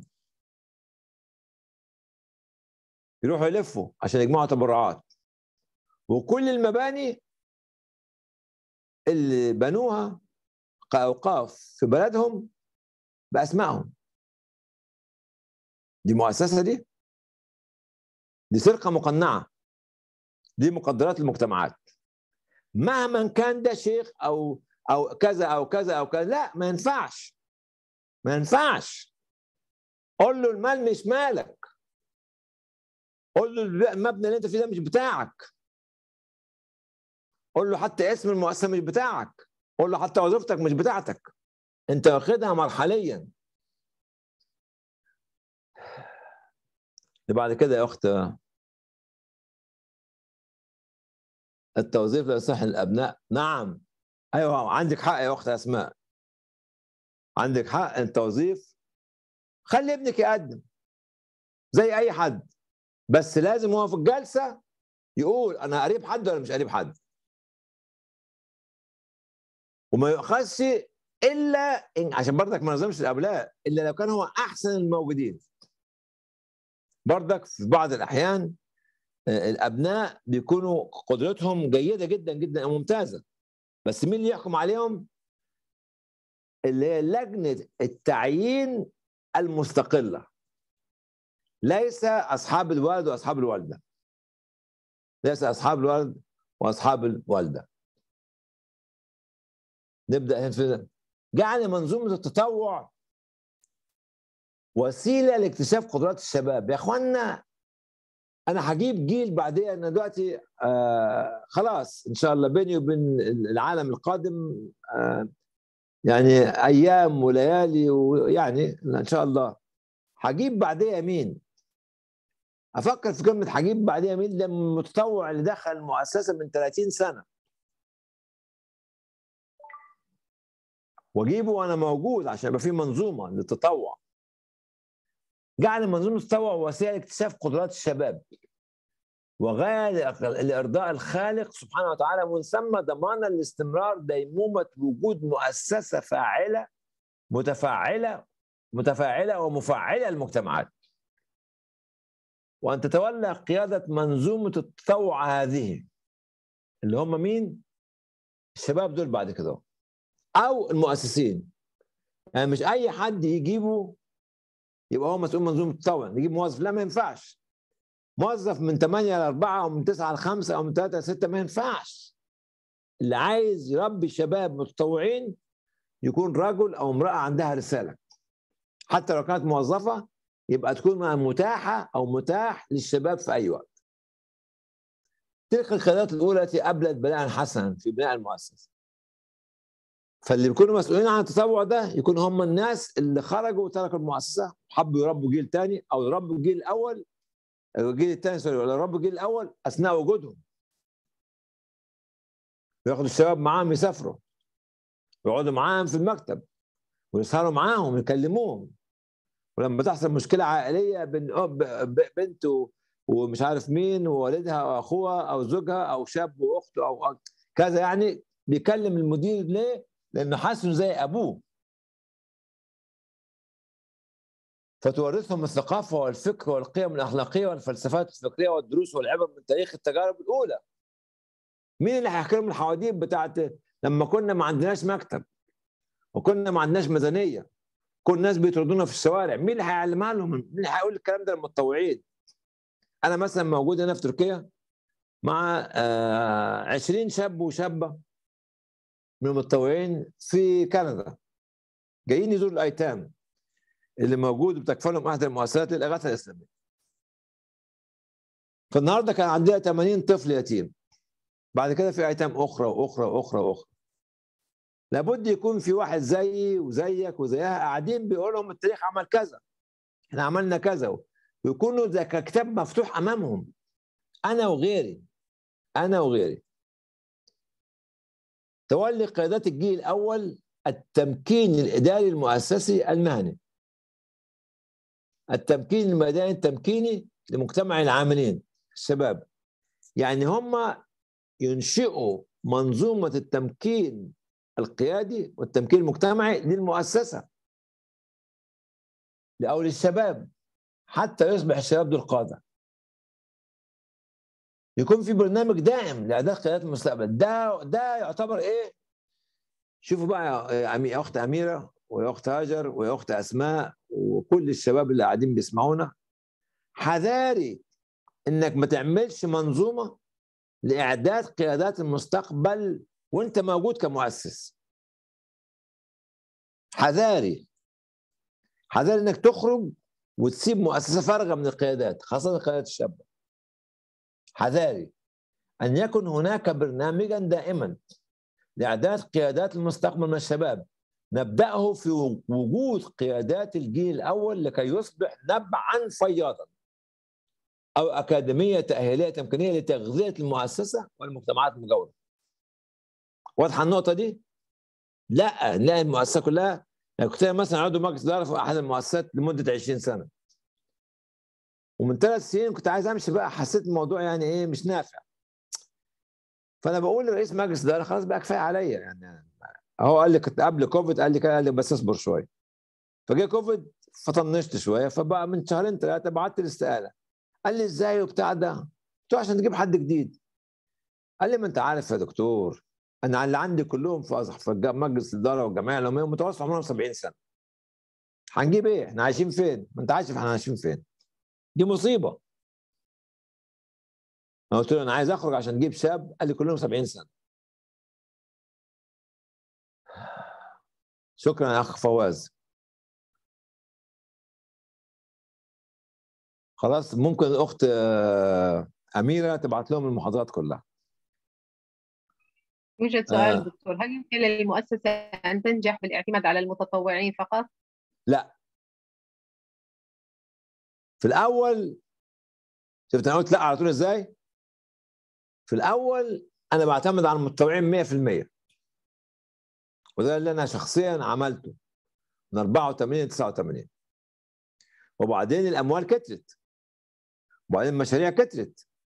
وبعدين الناس عرفونا. فلا بد بعد كده هو نبتدي نعين الناس اللي عندهم قدرة وكفاءة على المحافظة على المال. وأنا في المحاضرة بتاعت المرة اللي فاتت الجمعة اللي فاتت يا أخت أميرة فاكرة أنت؟ لو كنت أنت معانا طبعا. على نسب المصاريف الإدارية؟ ولا نعم. مش فاكرة؟ لا فاكرة. أنا بقول لك اللي يقول ما فيش مصاريف إدارية عشان أوظف بيها ناس محترفين محترمين يبقى كذاب يبقى مدلس. مدلس يبقى منافق. فأنا في الأول قد اعتمد في السنة الأولى والثانيه لغاية ما ربنا يكرمني ويصبح عندي دخل ثابت. الدخل الثابت ده أدفع منه كراء لمكان أدفع منه مرتبات لموظف أو موظفة على الأقل محاسب نبدأ به إلى آخره. لكن في مرحلة بنقول لك متطوعين وفي مرحلة بعد كده لابد المتطوعين يكونوا جزء من المنظومة وليس كل المنظومة. كان في سؤال تاني جاي يا أميرة؟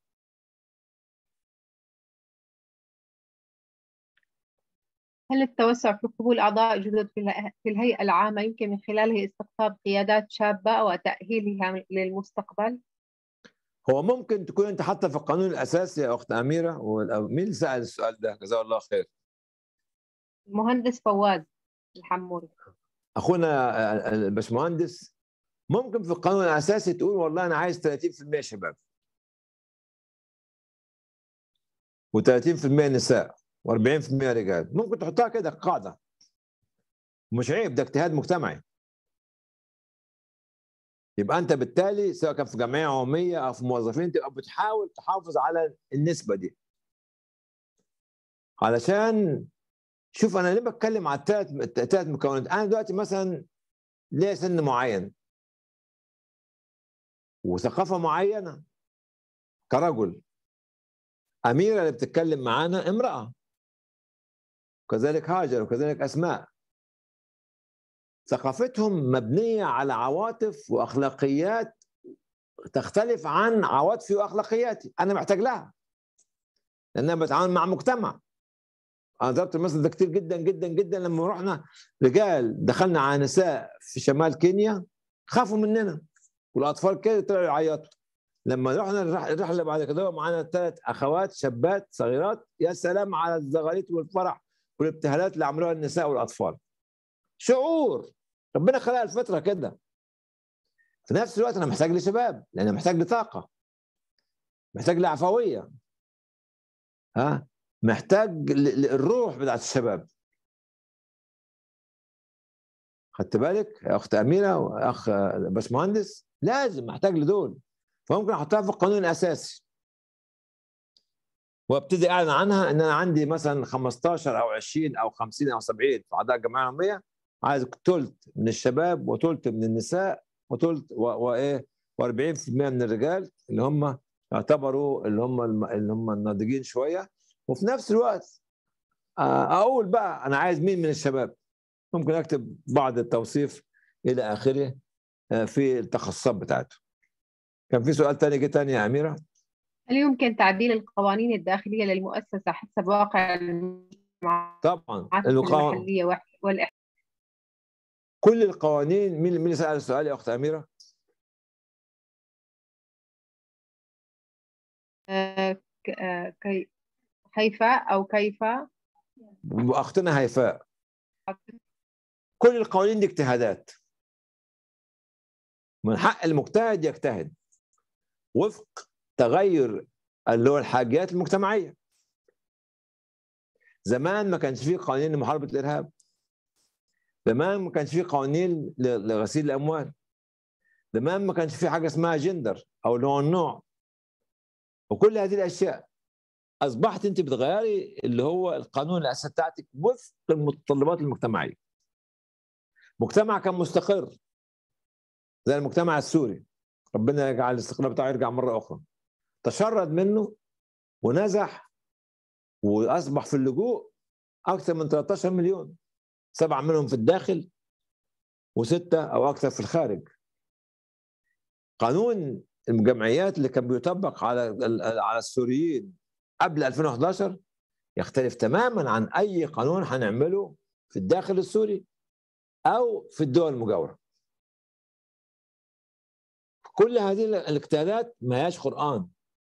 ممكن نعمل نغير في الجمعية العمومية شيء نرجع نغيره تاني بعد كده في السنة اللي بعدها أو أو إلى آخره. وفق التغيرات المجتمعية والحاجات المجتمعية. طيب. آه كيف يمكن؟ آه كفاية الأخت كفاية آه خضر. بسم الله ما شاء الله اسمك جميل. كفاية اسم جميل يعني. هذه مسؤولية كيف يمكن تطبيق الحل؟ إزاي بقى الكلام النظري بتاع اللي أنا بتكلم فيه هذه مسؤولية لابد أن نبدأها من خلال التالي. في وجود الجيل ليه أنا بتكلم الكلام ده أخت أميرة؟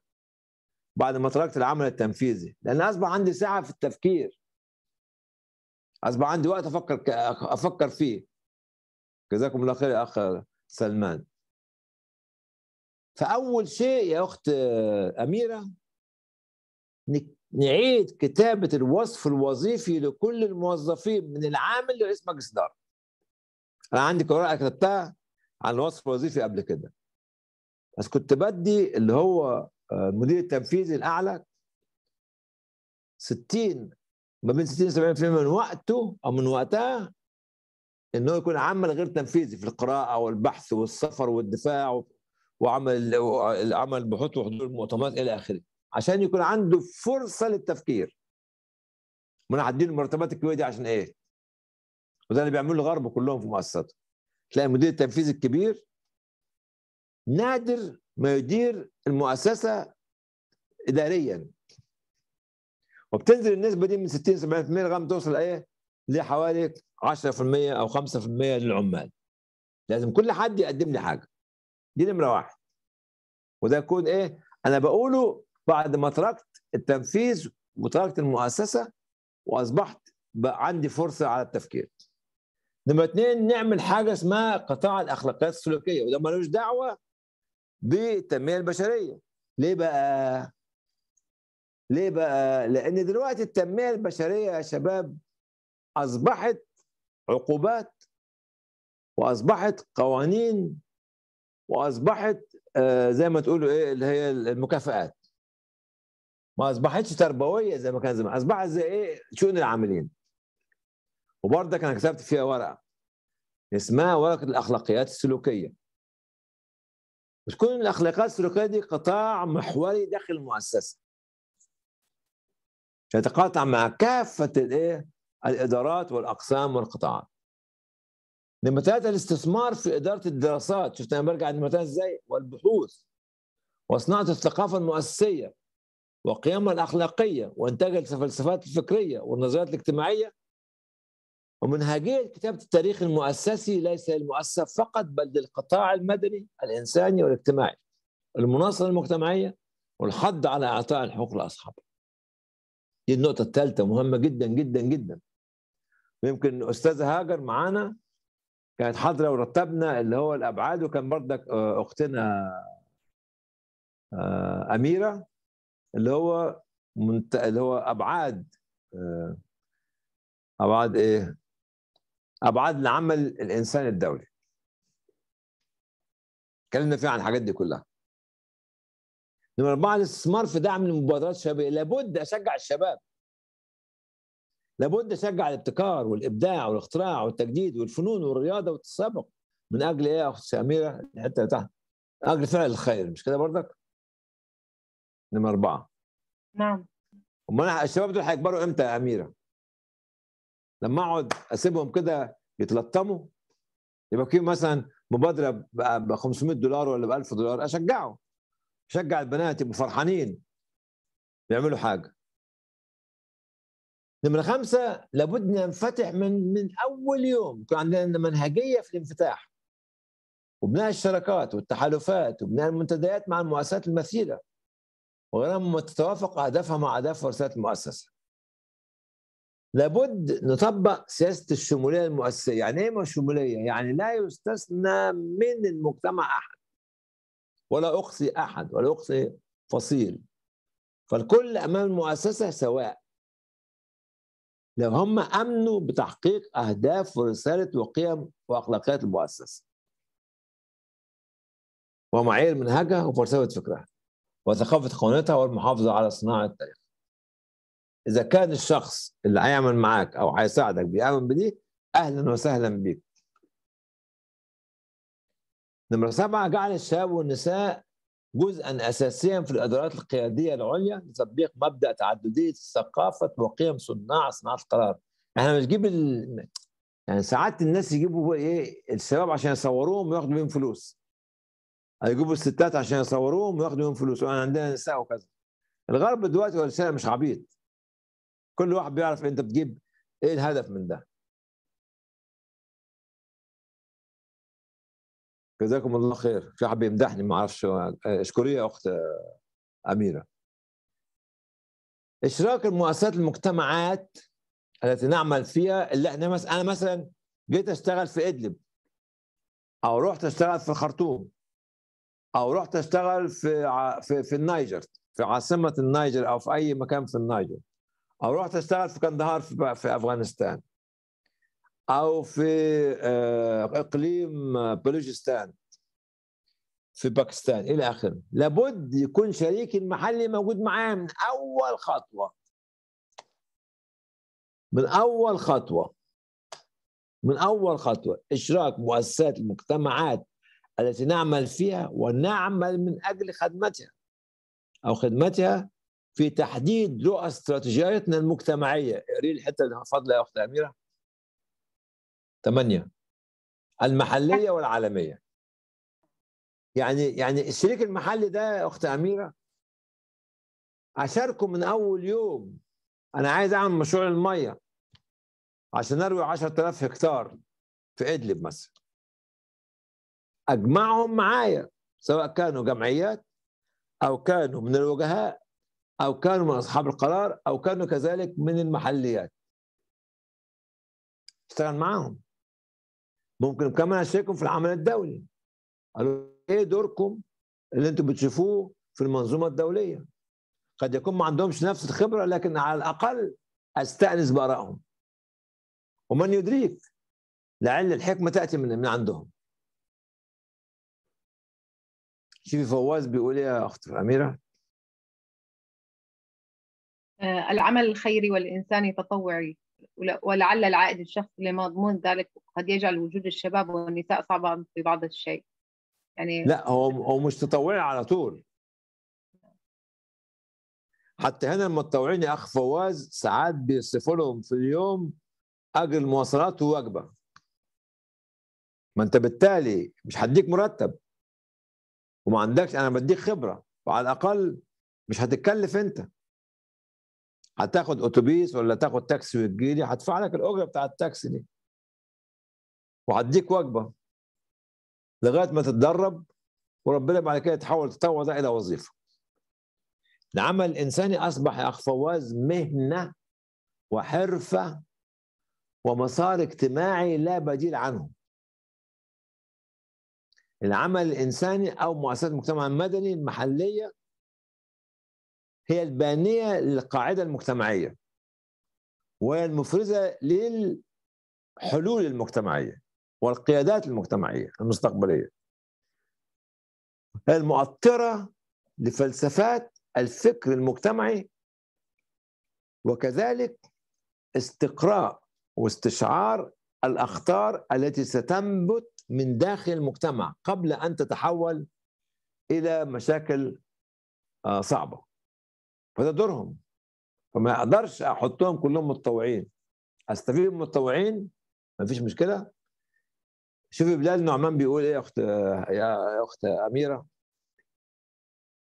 آه، بعضهم متورعين ما يصرف على فريق العمل آه، تبعه بحجة أنه مؤتمن على المال. يعني في بعض المدراء هم متورعين أنه يصرفوا على على المتطوعين بحجة أنه مؤتمن على المال فلا يتم صرف آه، هذا هذه الوجبة أو هذه.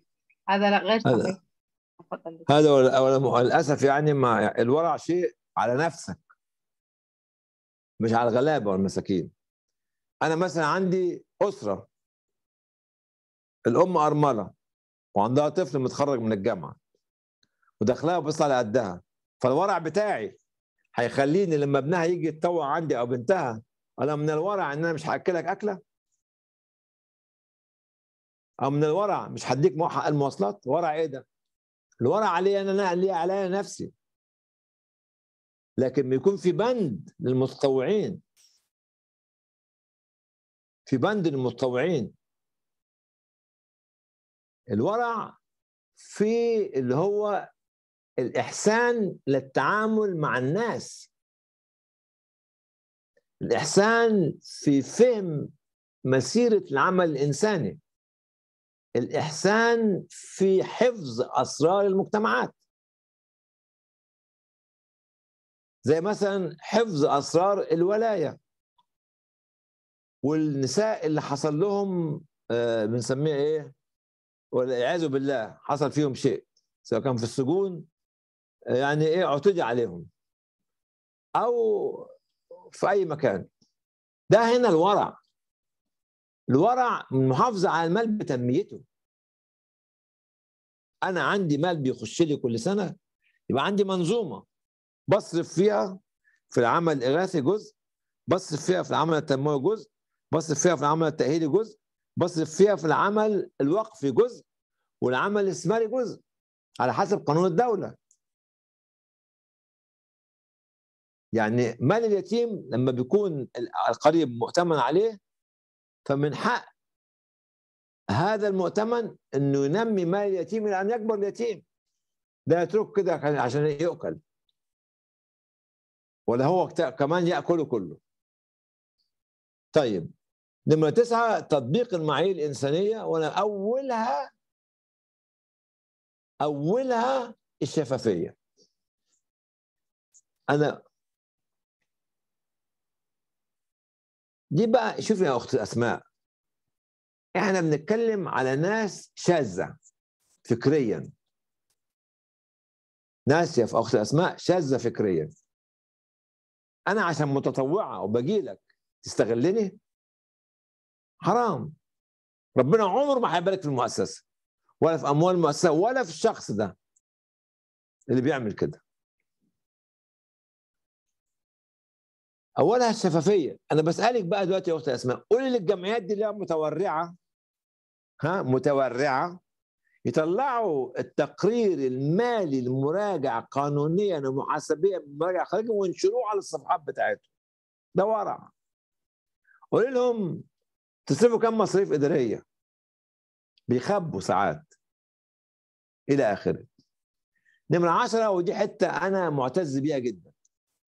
الأولى اللغة لازم يكون لنا لغة. العمل الدولي حاليا بيتعامل مع لغة العصر اللغة الإنجليزية. لا غبار على كده. خلاص يا شباب؟ اللغة الثانية بالنسبة لي دي اللي تعتبر لغة عالمية دولية اللي هي اللغة العربية. لأنها أغنى اللغات قاطبة. ولأنها لغة تاريخ وحضارة حديثة ومتنوعة. ولغة بيحبها ويحب كتبها اللي هو القرآن واحد وسبعة من عشرة أو واحد ثمانية من عشرة مليار مواطن. في المية من النازحين واللاجئين من أبنائها. يبقى أنا لابد أن أنا أطالب يا أخت أسماء ويا أخ فواز ويا أخت أميرة بأن اللغة العربية تكون هي اللغة محورية في العمل الإنساني على مستوى العالم كله. بكون مستعلي كده وأنا بتكلم عن اللغة العربية. اللي بعدها يا أخت أميرة. ما السبيل لتصحيح المسار المؤسسي ومنع الوصول بالمؤسسه إلى هذا الفكر الاستنقاعي؟ ناس كم شريحة؟ بسم الله خلاص ثلاثة أنا طولت عليكم قوي يعني. أول حاجة تطبيق المعايير دي كده. الإيمان الرؤية الصادقة المتجردة وضوح الهدف سلاسة فهم الرسالة عزم المسؤولية مشقة المهمة صعوبة الطريق كل الحاجات دي تكون واضحة بالنسبة لنا ومؤمنين بها طول الزمن الكافي لتحقيق هذا وقلة الإمكانيات البشرية والمادية. تعايش القيادات العليا مع المتطوعين هنا بقى نرجع للمتطوعين مرة ثانية. ومع الشباب من العاملين نقل خبرات من خلال برامج منهجية وليست عشوائية. احترام أصحاب الحقوق من الفقراء والمساكين. تقدير واحترام المؤسسات المنافسة والأفراد المبدعين. أنا مش هقعد أغتاب المؤسسات المنافسه ها؟ التمليك والتمكين المجتمعي للمؤسسة. يعني نقول للمجتمع المؤسسة ملكك أنت. ما بنعينش حد في السر. ما بنلفتش حد في السر. اللي بعد كده يا أخت أميرة. الإيمان بأن كل ما في المؤسسة من معلومات واصول وثروات ملكا للمجتمع. أنا مش فاهم السؤال ده أميرة اللي جه قبل كده بس اشرحه لي أنت. بعد آه، النقطة دي. إن كان المتبرع من المال كيف يتم وص يعني إيصال فكرة للمتبرع إنه اقتطاع جزء من هذا المال للمتطوعين. يعني المتبرع يعطينا المال كيف إنه أنا بدي أوصل له فكرة إنه نحن بدنا جزء. يعني أظن هنا يجب أن يكون هناك هيكلية يوجد هناك وثائق خاصة بالموضوع المتطوعين. شوفوا يعني المتطوعين دول أقل الناس نحن نصرف عليهم. فمن عامة الدخل اللي بيخش لنا من عامة الدخل اللي بيخش لنا أنا بعمل برنامج. يكون هو برنامج زي برنامج المية زي برنامج الصحة زي برنامج التعليم للمتطوعين. يعني مثلا مؤسستي للأخ اللي هو أو الأخت مش فاكر مين اللي سأل السؤال دخل لي خمسة أو ستة أو عشرة مليون دولار. أقل أو أكثر خلاص أنا عندي برنامج للتعليم وبرنامج للصحة وبرنامج للأكل آه، والشرب والحاجات دي كلها وبرنامج للإيواء وكذا كذا برنامج وبرنامج للمتطوعين. ممكن أحط لماذا في برنامج متطوعين؟ مش فقط باخد فلوس المتبرع ده هو لوحده. ده بعمل زي ما تقولي آه، وعاء لكل هذه المشاريع. ومشروع المتطوعين لا يقل تماما عن كل المشاريع الأخرى اللي بنتكلم عنها. ما هو برضك ممكن المتبرع يقول لك إيه؟ أنا مش عايز مالي يروح في الأبحاث. مش عايز مالي يروح في التأهيل. أنا لازم أكون واضح معاهم. لازم أكون واضح مع كل هؤلاء. مش هقول عايز يتبرع يتبرع الرزق ده من عند ربنا. واللي مش عايز يتبرع يتبرع لحد غيري.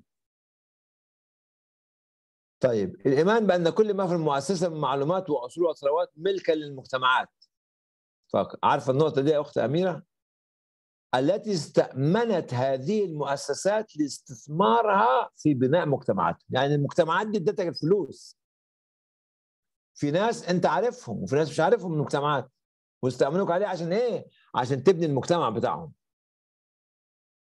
وعشان تحافظ على وحدات نسيج نسيج الأربطة المجتمعية وعشان تصنع قيادة صناعة قيادة المستقبل.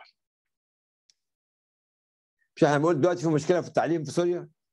في أطفال بقى لهم خمس ست سنين ما دخلوش هنعمل فيهم إيه دول؟ هنأهلهم وهندربهم وهنعلمهم كتير جدا من المتبرعين ما بيدوكش أكل لا تأهيل ولا تدريب ولا تعليم. كله أكل أكل أكل أكل أكل. طب والعشرة من وال... وال... والناس اللي ما دخلوش المدرسة بقى لهم الشباب والبنات اللي دخلوا المدرسة بقى لهم أربع خمس سنين أو ست سنين أو 10 سنين هنعمل لهم إيه؟ هندخلهم في. في, في في برنامج تطوعي عشان يتعلموا يتأهلوا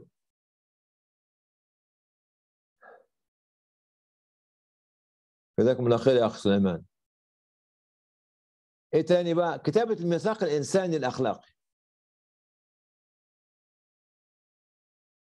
يعني إيه فائده الجماعات الخيرية؟ اسألي بس السؤال ده يعني إيه فائده الجماعات الخيرية؟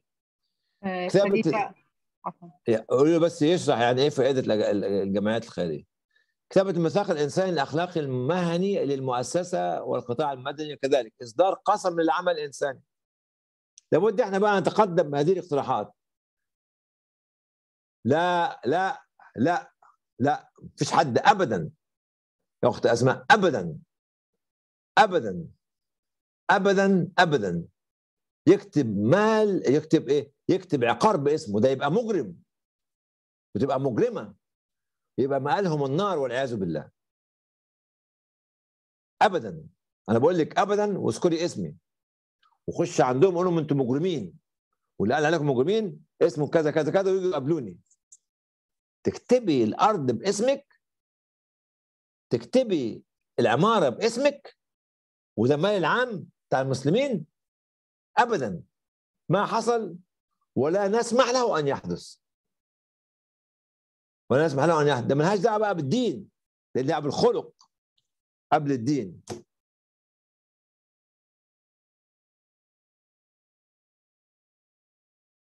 طيب شوفي الأسئلة اللي عندك دي يا أخت أميرة. بتاع الزكاة والثاني نعم هي هي تسأل إنه هل يعني نعم هي الجمعيات الخيرية هي تعتبر آه، لها مخصصات من مصاريف الزكاة. أظن هكذا تسأل دكتور تسأل سؤال شرعي هكذا. طيب يعني مصاريف الزكاة معروفة حتى العاملين عليها معروفة. يعني كل الحاجات دي الحمد لله مشروحة. وانت بعد كده كرئيسة مؤسسة بتقدري المصاريف دي أو بتقدري الانفاقات دي. ممكن مثلا أنت عندك ثمان مصارف للزكاة. في بلد معين في مصرف ألف وب مش موجودين فتقسميهم على ستة أو تقسميهم على خمسة. يعني مش كل مصارف الزكاة موجودة في كل بلد أو في كل مجتمع يا أخت أميرة. واخدة بالك؟ وساعات المصاريف الإدارية اللي هي العاملين عليها في أماكن صعبة للوصول إلى المستحقين فيها. بتزيد عن 10% زي ما إحنا قلنا في في الحلقة اللي فاتت بتاعه المصاريف الإدارية. فدي كلها مبنية على التقدير مبنية على الحاجة المجتمعية مبنية على صعوبة وصول الأموال لمستحقيها في سؤال ثاني يا أخت أميرة قبل ما أخلص الشريحه دي؟ لا يوجد دكتور هي مداخلات طيب. قلت لي بقى كتابة المساق الإنساني الأخلاقي المهني للمؤسسة والقطاع المدني وإصدار قسم للعمل المدني الانساني الاجتماعي. يعتبر ميثاق شرف عمل لهذه المهنة. يا شباب العمل الإنساني والعمل المجتمعي أصبح مهنة زي الطب والهندسة والزراعة والتعليم وكله. المشاركة في بناء نقابة أو منتدى اتحاد مهني. بشرحي لي السؤال ده بعد ما أخلص القراءة دي يا اميره المشاركة في بناء نقابة منتدى اتحاد مهني ائتلافات لها السلطة لمراقبه المؤسسات في تنفيذ كل ما سبق واستصدار شهادة التزام بتنفيذ كل هذه المعايير كجزء أساسي للحصول على ترخيص بعمل مؤسسة. دي كان بعض الحاجات اللي إحنا طلعنا بيها ففاكرة يا أخت أميرة أنت وهاجر الملتقى اللي إحنا عملناه في إسطنبول 26 28 يوليو آه اللي كان فيه اللي هو أبعاد العمل الإنساني الدولي دول النقطة آه تعريفات المساق وبناء النقابه دول دول, من مخرجات المؤتمر الملتقى. المحافظة على الرموز والقيادات المجتمعية والقدوات الحسنة الذين أبلغوا بلاء الحسن من التضحيات لبناء المجتمع. ما نديهم حقهم حتى بعد ما يموتوا. لذلك أنا دايما بذكر وذكرت قبل كده في محاضرة من المحاضرات الدكتور عبد الرحمن الصميت الدكتور فريد القرشي آه يعني يمكن الناس عارفه عبد الرحمن الصميت رحمة الله عليه ما حدش عارف فريد القرشي. فريد القرشي كان هو المشرف العام لهيئة الاغاثه الأسلامية العالمية في الجدة في السعودية واللي اخرج الهيئة من غرفة في مرابطه العالم الإسلامي إلى أن أصبحت هذه المؤسسة العالمية الكبرى. مات رحمة الله عليه بتليف في الكبد أو اللي هو المرض اللي هو التهاب الكبد. محدش يعرفه. عيب علينا ما نذكروش. ترك 25 برج في جدة وفي المدينة وفي مكة وفي الطائف وفي الرياض. هم دخل. هيئه الاغاثه الاسماء العالميه حاليا. اللي بعد كده يا أخت أميرة. تطبيق هذه المبادئ والمعايير. تدوين وتدريس التاريخ المؤسسي للمؤسسات على حدة وتاريخ القطاع المدني وفعالياته على مستوى المجتمعات. يعني حاجات دي لازم نعلمها للشباب. تدوين آثار الأدوار التي قامت بها هذه المؤسسات في بناء المجتمعات والحفاظ على وحدتها المجتمعية وترابط انسجتها المجتمعية. جعل ابواب وده مهم جدا هو النقطة الثالثة أبواب الاجتهاد والإبداع والتجديد والابتكار والاختراع مفتوحة دائما. من أجل وجود الحلول الأمثل والأسرع والأقل تكلفة والأكثر تاثيرا والتي تحقق مبدأ المشاركات التمكينية المجتمعية المحققة لأهداف ورؤى ومبادئ وسياسات واستراتيجيات المؤسسات والقطاع المدني والحكومات المحلية. كل هذه الأشياء بتخرجنا من الاستقرار الاستنقاع الاستمتاع للحلول. أنا آسف النهارده المحاضرة كانت طويلة شوية يا أخت أميرة. في الدوره عندكم؟ رائعه ما شاء الله دكتور. جزاك الله خيرا. وشكرا جزيلا هاجر من شاركت الملف. جزاك الله آه ربنا خيرا ربنا يكرمك. وإحنا خدامينكم في أي وقت. الأسبوع الجاي اسمها إيه المحاضرة؟ الأسبوع القادم فقط لا لا سوري الأسبوع ده يوم الخميس يوم الخميس يوم الخميس. نعم دكتور فقط عن عندنا بعض بعض المداخلات من الأخوة. آه تفضلي. فقط نريد أن في بعض المؤسسات الموظفين يحتكرون ممتلكات المؤسسات تحدثت عنها ممتلكات المؤسسات بشكل شخصي. آه، هل يجوز تحويل الأموال الزائدة في مشروع الأضاحي بعد الانتهاء من الموسم الإداري في حساب المؤسسة أم شراء لحوم في المبالغ التي زادت؟ هو ده كان حصلت لنا المشكلة دي أخونا ده اسمه إيه ولا أختنا اسمها إيه دي؟ في السؤال ده. السؤال ده حصل لنا آه، آه، اسمهم إيه؟ السؤال ده السؤال ده جميل أنا بحبه. ها؟ أسماء. أسماء أحمد. أسماء دي بقى طلعنا في كل بتسأل كل حاجة. جزاك الله خير يا أخت أسماء. إحنا في التسعينيات من القرن الماضي كان قبل بقى الإنترنت وقبل الحاجات دي كلها كنا بنبعت اللي هي الحملات بالبريد. فلما البريد بيوصل من شرق أمريكا لغرب أمريكا بياخد كذا أسبوع. فتوصل بعد عيد الأضحى وبعد أيام التشريق. فالفتوى اللي طلعت إيه؟ فتوى طلعت إن لم تستطع آه، آه، ذبح الأضاحي في أيام التشريق كلها فعليك أنك تجمعها وإما تضيفها لميزانية السنة العام القادم أو تعملها فيما بعد في فتوى أخرى عملها لنا الدكتور عسار رحمة الله عليه الممكن شهر ذو الحجة كله تذبح فيه استثناء ليه؟ لأن في زمان كانت البريد بيتأخر. البريد كان بيتأخر أسبوع وأسبوعين وثلاثة. حاليا حتى ممكن يكون القدرة بتاعت المؤسسة على التنفيذ في أيام التشريق صعبة. فبتضطري إنك تنفذي بعدها. إحنا بقى كنا بنعمل إيه يا اخت أسماء؟ قبل السنة ما تبدأ وقبل الموسم ما يجي نقول إيه؟ نشوف عدد الاضاحي اللي إحنا ذبحناها في العام الماضي. مثلا طلع 10000 أضحية. لو إحنا شاريين 8000 أضحية لو 80% قبل اللي هو عيد الأضحى على الأقل بست ل 8 أسابيع. نبعت الميزانية. بحيث المكاتب تشتغل على 80% من ميزانية السنة اللي فاتت. خلاص؟ بعد كده هو اللي بيزيد بنكمله لغاية أيام التشريق. بعد كده حصل لنا شيء تاني يا أخت أسماء. في, أماكن الصراعات المسلحة خاصة لما بدأت البوسنة. لقينا إن إحنا نذبح أضاحي حية بنقتل بنقطع الثروة الحيوانية. وقلنا لأ إحنا هنذبح في أيام التشريق ها؟ في الخارج. رجعي الصورة يا هاجر تاني إحنا عشان بس تكون منورة كده. إحنا هنذبح في أيام التشريق وهنعلب اللحوم دي تتوزع بعد كده في أيام أخرى. يعني إحنا ذبحنا في الاربع أيام بتوع التشريق لكن بعد الذبح ده كان مثلا تطلع عدد اضاحي اللي كنا بناخدها الهج اللي هو البنك الاسلامي تنميه 30000 رأس الهج ومثلا يمكن 15 أو 20000 رأس من الاضاحي و40 5000 دول بيتذبحوا في نيوزيلندا أستراليا وبعدين بعد كده هو بيتعلموا تاخد لها مثلا أسبوع أسبوعين أو أكتر وبعد كده بتوصل للمستفيدين أو لاصحاب الحقوق آسف مش مستفيدين فيما بعد ده كان الحاجات اللي بنتعامل فيها مع مشروع الأضاحي بالذات مشروع الاضاحي خلي بالك عندنا إحنا في المؤسسة كان بيصل ل 100000 رأس اتفضلي إيه الأسئلة الثانية يا أخت آه. هل من هل من حق الموظف أو المتطوع معرفة أعضاء مجلس الإدارة في الجمعية الخيرية؟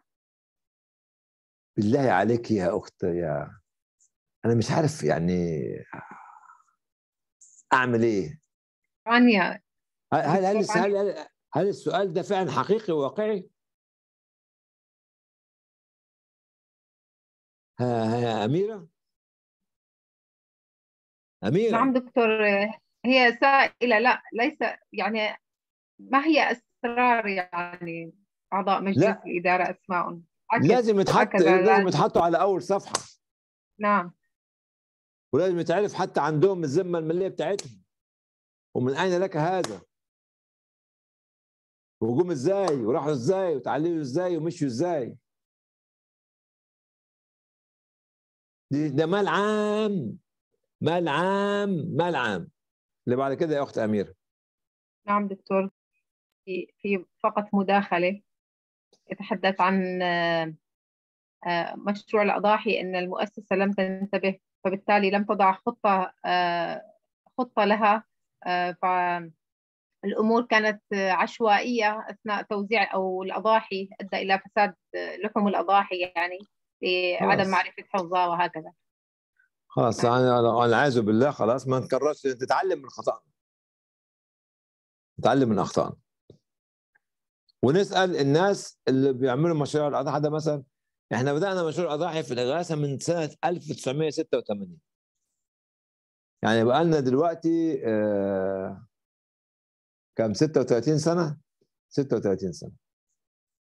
فلو لو لو عددنا عدد الرؤوس اللي ذبحوا ممكن يوصلوا مليون في ال 36 سنة دول دكتور الريادة والمشاركة المجتمعية أصبحت شعارات هل سوف تساهم في الحلول في داخل المنظمات والمؤسسات الخيرية؟ ما ما هو الريادة والمشاركة المجتمعية دي لابد يكون حقيقة مجتمعية يعني إيه؟ يعني أنا بتكلم في شعار عندي الريادة المجتمعية إزاي؟ طبقي إزاي مشاركة مجتمعية؟ طبقي أطبق المشاركة المجتمعية إزاي؟ إن أنا قاعد على الطاولة من أول يوم في تصميم المشروع وعمل اللي هو دراسة الاحتياج مع المؤسسة المجتمعية المحلية مع الشريك المحلي من أول يوم. الرياده المجتمعية اللي هو إن أنا براجع نفسي وأشوف إنجازاتي من خلال بناء المجتمع اللي أنا بحاول أبنيه. دي ريادة مش قيادة فقط. قيادة شيء وريادة شيء ثاني رياده أعلى من القيادة.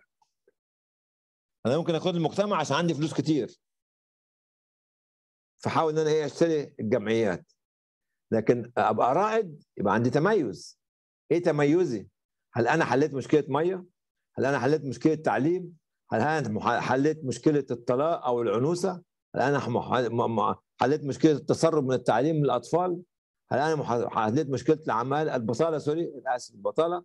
هل أنا حليت مشكله الاعتداء على الأطفال والاعتداء على النساء والاعتداء على الزوجات؟ دي ريادة.